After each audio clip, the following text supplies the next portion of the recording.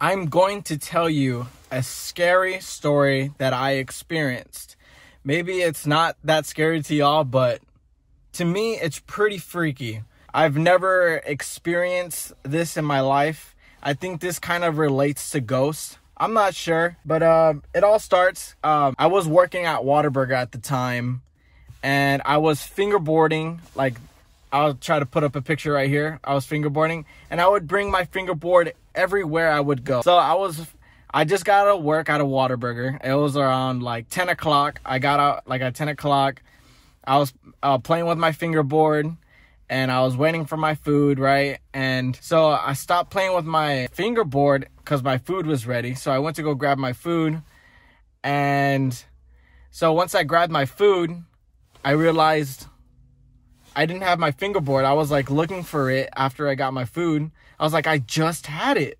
I just had my fingerboard. And mind you, my fingerboard cost me around a hundred between 130 180 dollars at the time i was very passionate about fingerboarding i still am but not as much as i was like before um so i was going crazy so i looked all over the restaurant to look for the fingerboard i asked all my friends to see if anybody picked it up right so i check my truck because i think i thought i left it in my truck or something I couldn't find it in my truck. So I went to my house. I went to my house in my truck and I could not find it there at my house. Like, I was like, what the heck? It's not at my house. And I was checking the streets on the way back to work.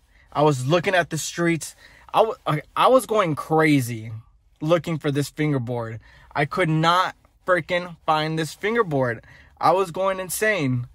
And so I I come back to Whataburger. I'm like, crap, it's not home. It's not here at Whataburger. Where is it? Like, so I'm assuming someone stole it, right?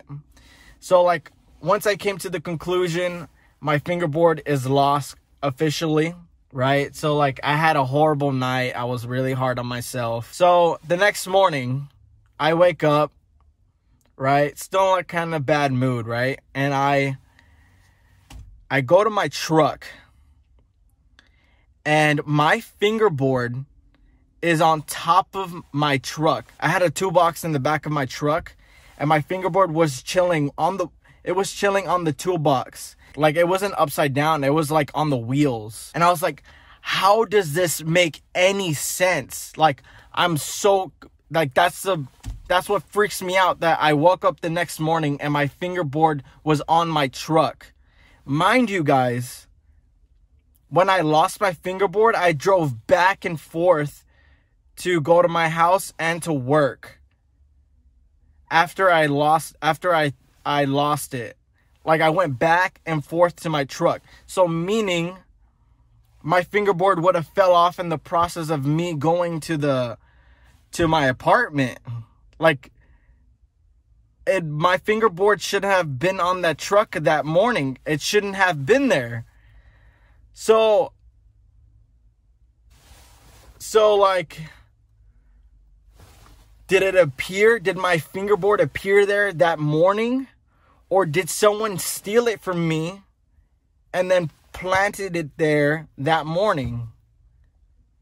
I don't know. Like, still to this day, I do not know how my fingerboard how my fingerboard ended up on my toolbox in the back of my truck. Again, uh, mind you, I drove back and forth to my house. My fingerboard should have fell off because it it has wheels and it roll it'll roll off.